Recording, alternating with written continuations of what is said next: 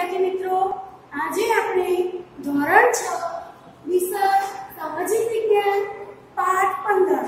અગાઉ આપણે જોયું હતું પાઠ ચૌદ, વિવિધતામાં એકતા. હવે આજે આપણે જોઈશું પાઠ પંદર, સરકાર.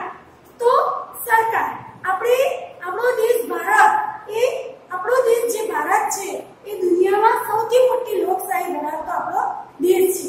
વિદ્યાર્થી મિત્રો, આપણને ખબર છે કે આપણે ધર્મો વહીવટ કરવો હોય આપણું ઘરનું વહીવટ, એનું સંચાલન, આ બધું કોણ કરે છે? તો આપણા ઘરમાં જે વડીલ વ્યક્તિ હોય, આપણા બા, દાદા અથવા મમ્મી, પપ્પા, તો એ લોકો આપણા ઘરનું સંચાલન કરે છે. અને એ આપણા ઘરમાં કઈ કઈ વસ્તુની જરૂરિયાત પડે છે, કઈ વસ્તુ જોઈએ છે, કઈ નથી જોઈતી, એ ઘરનું સંચાલન કરે છે. અને એટલે જ આપણું ઘર વ્યવસ્થિત ચાલે છે. જો ઘરમાં પણ કોઈ સંચાલન ન કરે તો ઘર વ્યવસ્થિત ચાલતું નથી. તો એવી જ રીતે આ તો આખા દેશની વાત છે.